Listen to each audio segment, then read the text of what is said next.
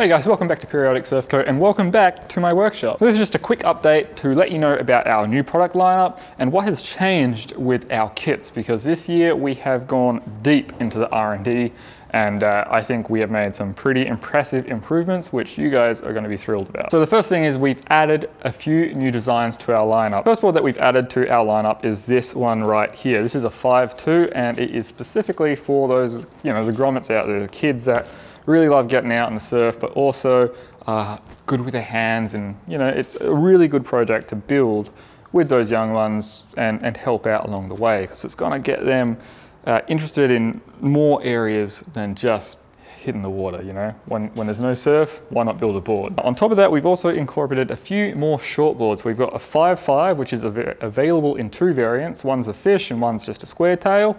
Uh, we've added a 6.1 and a few more variations when it comes to our SUPs and we're adding a bodyboard very shortly. So now you'll notice that the frames look quite a bit different. Now we have gone deep into this kind of rabbit hole of all Paulownia surfboard kits. So we have done away with the plywood frames and now we are built entirely out of solid Paulownia. What that means for these frames is that they are lighter, they're more eco-friendly, being that they're not using you know, plywoods that use nasty glues and chemicals, but they're also a lot stronger because we're using a thicker material which is also a lot lighter. So we are getting more bang for our buck in that respect. Now, these new frames have a lot of added bonuses as well. So they're not only having the thicker material, we are getting away with using less material because instead of having three spines, what we're using is the single spine or the stringer with our ribs, and then we have these reinforcements put all over the frame to help increase rigidity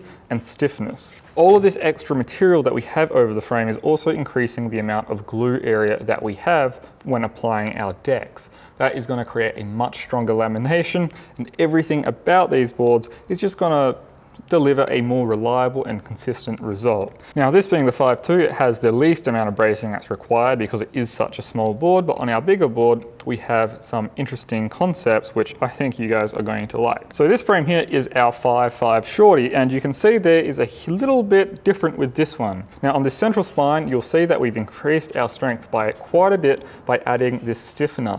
Now this helps increase uh, the stiffness of the board, but also keeps everything nice and square while we're gluing things up. So the added bonus of this construction here is by having all this structural material throughout the board and added bracing, we're getting a much stiffer frame, which is more kind of resistant to twist and, uh, and side loading. So, so what that resistance to twist means is that while we're doing our glue ups and getting our skins and decks applied, we are going to have a much easier time getting it to conform evenly and, and apply to this deck. Now, as we control all aspects of our kits now, when we're not relying on outside sources to give us reliable plywood, which has been an issue in the past, uh, now everything is controlled by us and that means we can reduce the cost of these kits and the best thing is if you're using our kits you don't need any expensive tools or machinery to build them.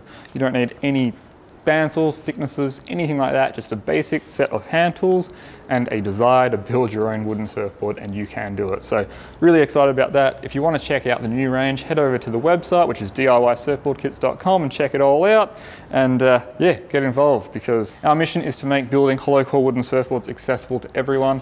And I think we are coming a really long way in the short history that we have as a periodic surf co company. So uh, check it all out. Thanks for watching and we will see you in the next build.